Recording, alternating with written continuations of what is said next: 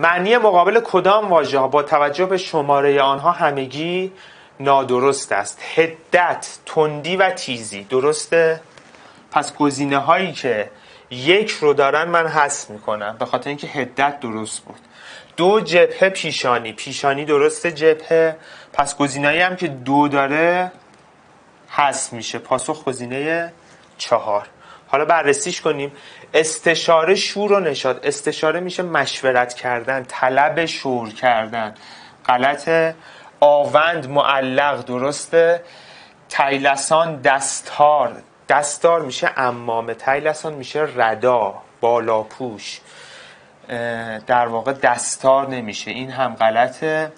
کاینات آسمان ها کاینات جمع کاینه هستش به معنی هر چیزی که در جهان وجود داره. آسمان ها نمیشه. پس سه پنج و شیش غلط بود. وجه هم میشه وجود. بچه وجه چند تا معنی داره؟ دست کم. وجه یه معنیش صورته.